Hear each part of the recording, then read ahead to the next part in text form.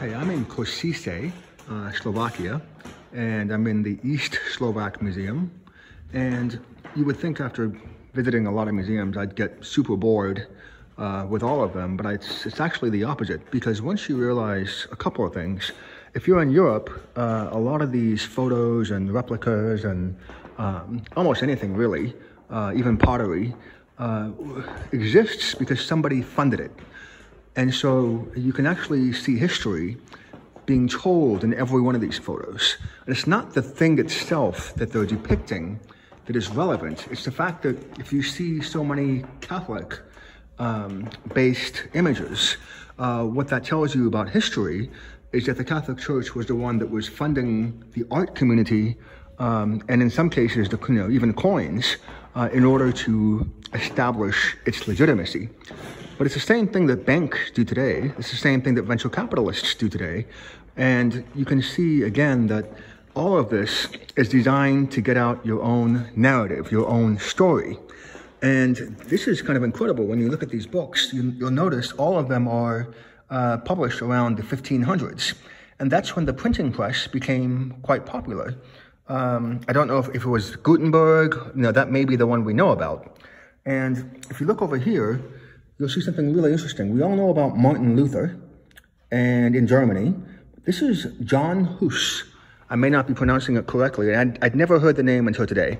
Um, and apparently he was in, uh, in Czechoslovakia and he was 100 years before Martin Luther. He was advocating reform. And so you can actually see that because so many of these works have been funded by the Catholic Church, you can actually see, you know, that it represented a core of power. And anytime you have a core of power where you have too much of the same thing, it indicates that money is not being spent wisely, whether it's private or public. And again, at that time, uh, there wasn't really any separation of church and state.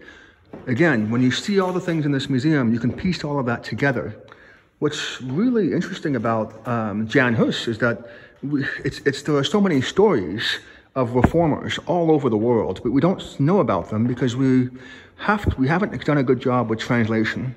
And so it's gonna, we are sort of in a world that has been globalized only for corporations and products, but not ideas. And the, and the primary difficulty with transporting ideas across borders is not only that people want to tell a story, in the way that makes them look good, which in the case of the Catholic Church is really difficult, uh, given their own history, uh, going all the way back to Pope Urban II, uh, just going back to the consolidation of power, um, Spanish Inquisition, and of course, I believe that coin back there uh, commemorates the burning of the Czech reformer. And so it may not be who, who actually paved the way for Martin Luther. And this is really interesting. Look at Martin Luther. And you can see it's a small book, you know, it's, it's just fascinating to go back and see that, you know, small ideas and done precisely are oftentimes, you know, just uh, the force that changes the whole world. But it may not be that this book or this person, the person, the author, will be the one that changes the world. It may be that that person lays the groundwork for someone else that will later on become the preferred uh, messenger but it all ties in together. And I think one of the problems we have uh, just in, in, education is not understanding that almost everything in the world is incremental, uh, whether it's a person um, or whether it's um, uh, an idea.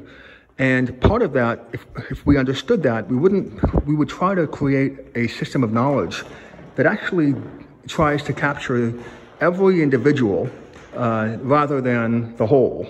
And especially with technology, it's not that difficult. I was downstairs and I have a, a kiosk, and uh, you know, the, in the kiosk you can have multiple languages.